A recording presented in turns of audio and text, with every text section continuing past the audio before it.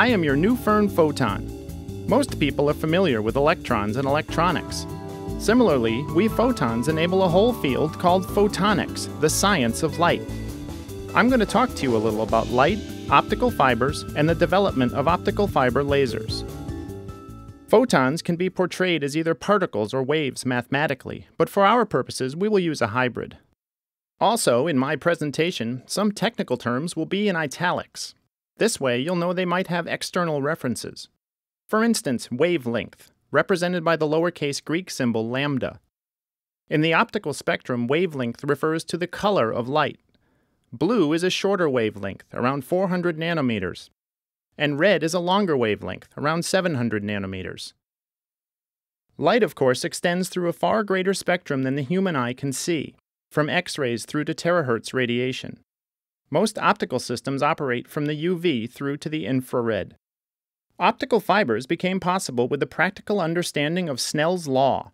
Light transitioning between transparent materials bends in proportion to the change in its velocity. Like a rod in a beaker appears bent at the air water interface.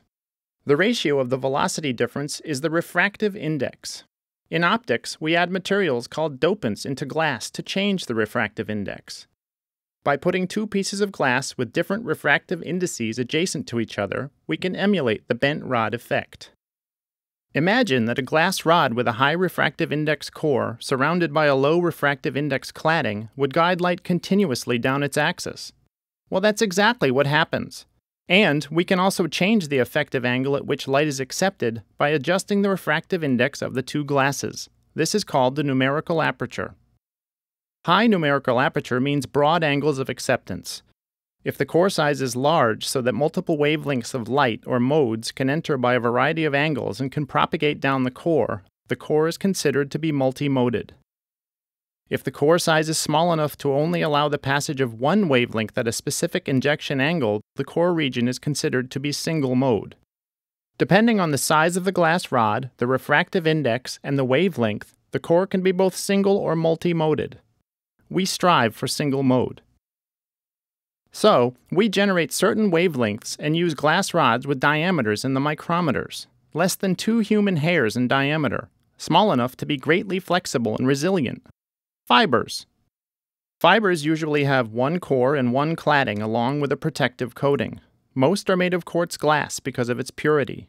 We use standardized nomenclature to specify the relative sizes of the core to the cladding.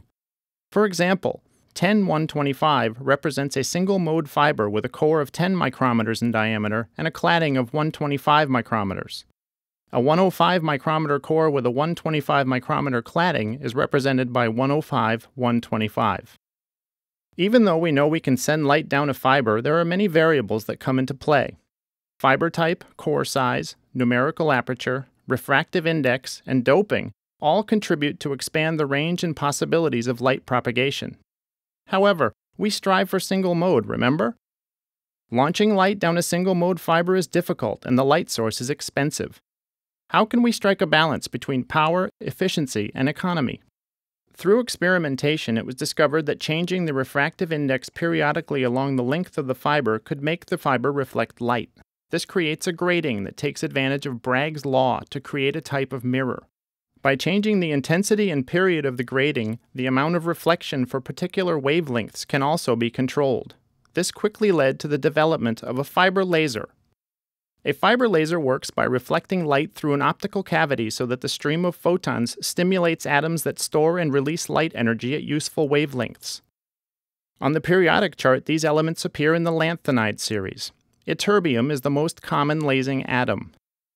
Eli Snitzer, a pioneer in optical fibers, learned to dope the core of an optical fiber with ytterbium to control the refractive index and photon absorption.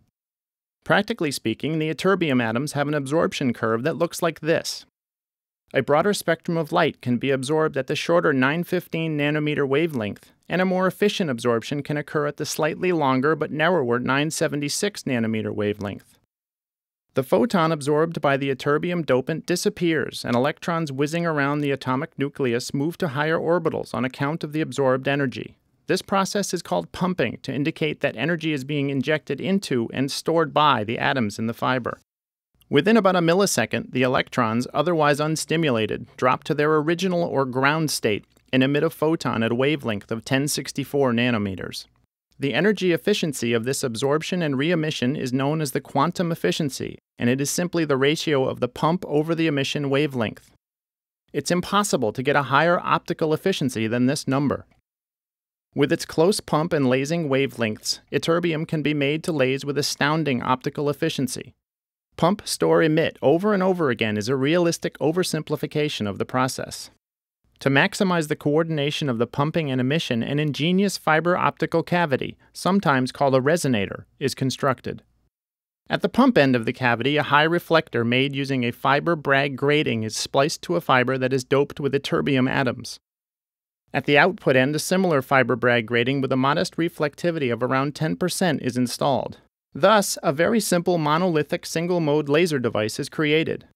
Monolithic in fiber terminology means that once the light is in the fiber, it stays in the fiber end to end.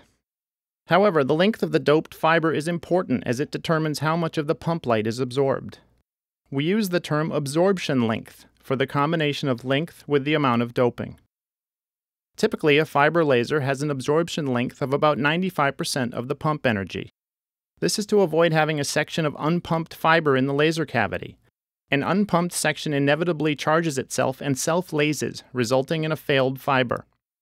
To pump this device, an optical laser diode can be installed on the pump end. Because such a laser is single mode, its power is limited to the output of a single mode pump diode times the quantum efficiency of the laser. Single mode pump diodes are expensive and relatively low powered. To achieve higher power, either more pumps need to get connected to a fiber, or the fiber will need to get much fatter, in fact, over time, both came to be. It was discovered that light, once guided by the core, continues to propagate for a significant distance even when the core is tapered until it is essentially gone. The light can then be recaptured by a new core that intersects the light path. This path is called the evanescent field. By extending this concept, it was discovered that multiple fibers can feed into or split out of one evanescent field, leading to the development of a fused biconic coupler. There are limits to this phenomenon, however. The brightness, defined by the core area multiplied by the numerical aperture, must be conserved. For example, a coupler can be made with two input fibers of a 100 micrometer core diameter and a numerical aperture of 0.12, and an output of 100 micrometers with a numerical aperture of 0.24. If we now change our laser by adding the newfound coupler to the front end, we can see that the laser power can be doubled, Unfortunately, practical limits quickly set in when we try to add a third diode for a tripling effect, since each input would require a pump diode with a very small numerical aperture and ultra high brightness. These diodes have a matching ultra high price, not practical at all. More economical high power pump diodes have a larger numerical aperture and a larger diameter output fiber. Using these economical pumps requires the use of double clad fibers. The invention of double clad fibers enabled very high power fiber lasers with good manufacturing economy, great electrical efficiency, and astoundingly high brightness. In principle, a double clad laser fiber works the same way as the conventional fiber we just described. However, the double clad fiber is larger in diameter and has a second pump cladding with a very high numerical aperture. Now, even conserving brightness, this will allow a coupler with six legs at 0.22 numerical aperture each. Pumps of up to 600 watts per leg are commercially and competitively available for this coupler. This is encouraging. Once the laser is assembled as before and we apply pump power to the diodes, we quickly see that much of the pump light simply passes down the cladding without intersecting successfully with a dopant ion in the core. Without this intersection and transfer of power, the laser cannot work.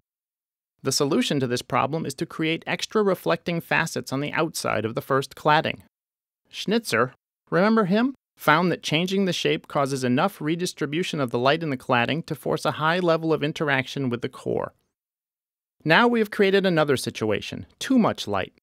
As power in the laser goes up beyond a few hundred watts, photons in the core start to behave differently, much like surging traffic on a congested highway. Nonlinear effects start to appear, such as Brillouin scattering and Raman scattering. The solution is the same as on a highway we add more lanes. For fiber, it means increasing the diameter of the core. This obviously reduces the light intensity quickly because the core area increases with the square of the radius, so a doubling of the diameter quadruples the light carrying capacity. And with this increase of core diameter comes the loss of the single mode beam quality that makes fiber lasers so effective. What to do? We've determined that the acceptance angle in the fiber is dependent on the refractive index difference between the core and the cladding.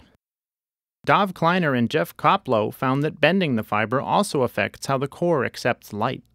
They also recognized that the single mode, or the fundamental mode, propagates down the fiber with a slightly lower numerical aperture than any of the higher modes.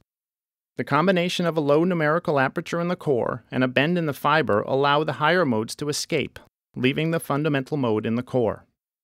The evanescent field of the single mode beam expands to fill the core diameter, avoiding nonlinear effects. Best of all, the amount of energy from the core that escapes as a higher mode is minimal.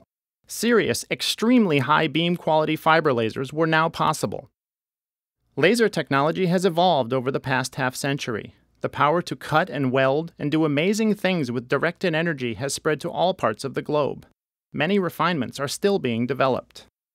Advances have also been made in using laser fibers for specialized telecommunications, scientific, industrial, and directed energy applications.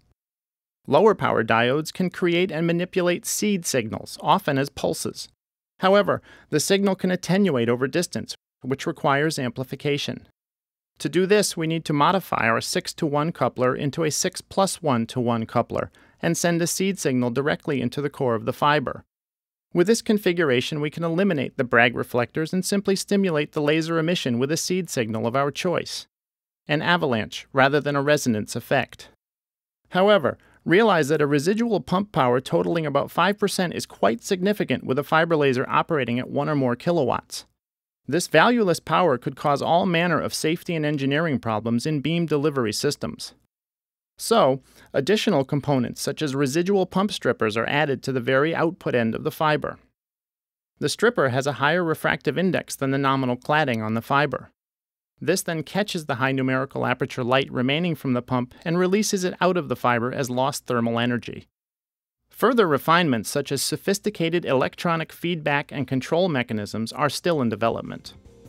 So you see, Creating a viable high-powered laser is a result of intense research and finely tuned techniques. We sincerely hope that this introduction was useful and informative. For more information, the parts to build your own laser, an educational kit, or one of our many complete industrial, scientific, or defense-oriented lasers, please give us a call or find us on the web. Cheers!